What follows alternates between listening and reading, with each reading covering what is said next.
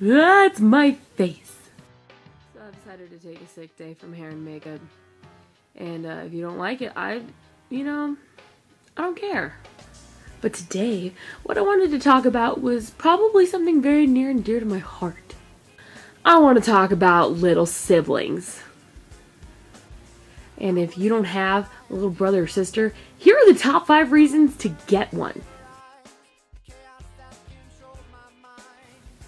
Obviously, one of the top five has to be it never hurts to have someone you can blame things on. Ever. Like, if you have someone to blame things on, life can only go right for you. If you have a younger sister, it's kind of awesome being an older sister because you can pretty much force her to let you do her hair and makeup or do something you want to try out. Um, and you can know how it works out by her. Because most of the time, you know, you don't want to do it to yourself. I mean, that's kind of like cruelty.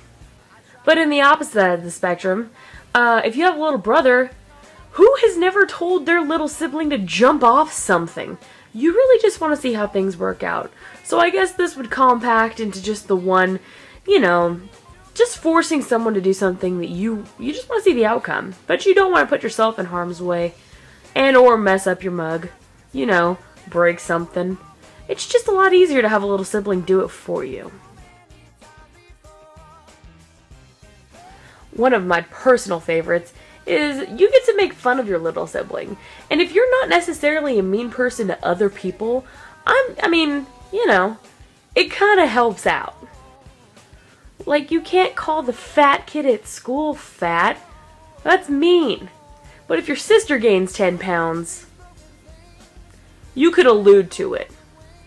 That rule only applies if you're skinny. Uh, if you're not, you should just shut your mouth. Having a younger sibling that's anywhere between two to four years younger than you always works out best when you turn 21. Who needs a taxi when you have a designated driver little sibling that is going to be forced to pick you up in a hot drunken mess and possibly even watch you pee your pants from time to time and still hold your hair while you vomit? Only a little sister could do that. Or brother. Either way, it depends on how giving your sibling is. But the number one reason is an honest to God good reason. Nobody in the world will love you and help you out like your little sibling will. She picks you up when you're down. He picks you up when you're down. Says, hey, bro slash sis, let's go get a Frosty and talk about life or distract ourselves from life.